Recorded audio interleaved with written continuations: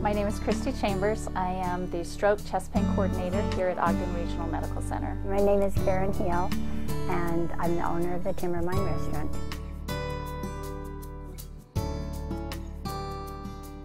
I am the one that gets to pay special attention to specific disease process patients. So, stroke patients, chest pain patients, all of our acute coronary syndrome patients, and make sure that they are getting the standard of care that is current evidence based practice. A year ago, March 5th, I had a, heart attack and I had open heart surgery, and I'm all better and feeling great. A lot more common than people think. It is definitely a myth that heart disease, heart attack is, is a man's disease.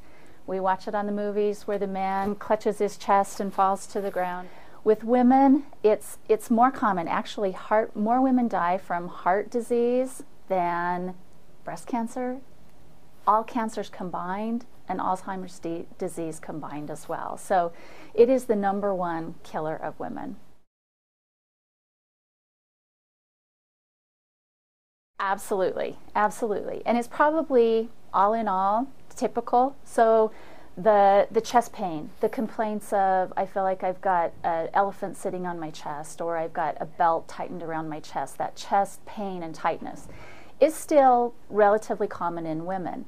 The problem is that is such a distinct sign that both men and women recognize that as a, as a critical problem that they need help immediately with. Unfortunately, women more than men tend to have what we call atypical or subtle signs of heart attack. And this can be extreme fatigue, this can be cold sweats, this can be um, epigastric or, or stomach pain. This can be a lot of different, more subtle signs that just kind of nag on. Maybe the pain isn't as intense. Um, it could be in an arm, one or the other arm. It could go up into your neck or your jaw. It it just can display in women slightly different. And so women are notoriously care providers and we care for everyone else and we tend to put our signs and symptoms to the side and say, "Oh, I've got to get, you know, I can't go in and deal with this now. I've got to get the kids taken care of. And so we tend to wait and we don't immediately call 911 like we should. Well, I went to church out to Pleasant View and I started having pain right here on my, right here. And it kind of would go up into my neck a little bit, but I kept thinking, oh, that doesn't feel very good. So after church, my daughter had her neighbor come over and he said, I think you should probably go up to the hospital and be checked.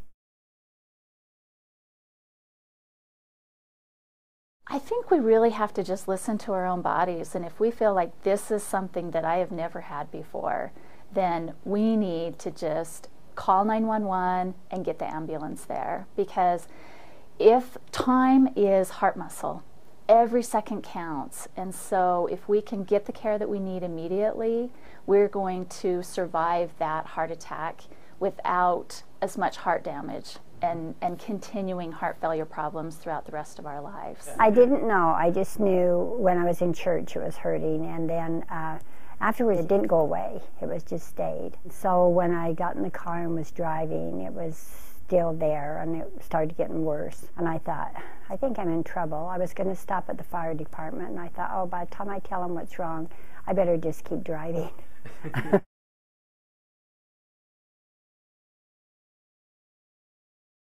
extremely important. And that's something that we can't modify. We call risk factors modifiable risk factors or non modifiable risk factors. And family history, our genetics, we can't do anything about, but we can sure investigate and know that that puts us in a higher risk category if we have siblings and parents that have also had heart disease or have died from heart attacks. Mm-hmm. Every every minute counts. I cannot overemphasize that. When, if we can catch a heart attack within the golden hour, even 90 minutes, we have skilled cardiologists, interventionalists that can go in, we can get patients into the cath lab, we can get those arteries opened up, and we can get stents placed. to reperfuse that heart so that that heart muscle doesn't die. And so it, it does. Every every second counts. But I never had pain on this side or on my arm or anything, just right there. That was all the pain I had. And uh, Dr. Graham said that this is that was the artery was completely clogged. I don't know. It was it was just exactly a year, almost to the day that my husband had passed away. So it would have been very, very hard for my family, and that's one thing. The hospital took such good care of my family. They were really consoling them and talking to them and helping. I have lots of energy, and I have to keep all my body parts good because I have this brand new heart.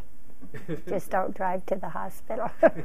I just think women work so hard and care for our families and we raise our kids and we think of this you know this retirement or this joy of playing with grandkids and if we don't take care of ourselves our quality of life isn't going to be there. Call 911 and take care of ourselves. Eat right exercise do all those things we know we're supposed to do. And if we have pain atypical pain subtle signs and symptoms that are just not doesn't feel right call 911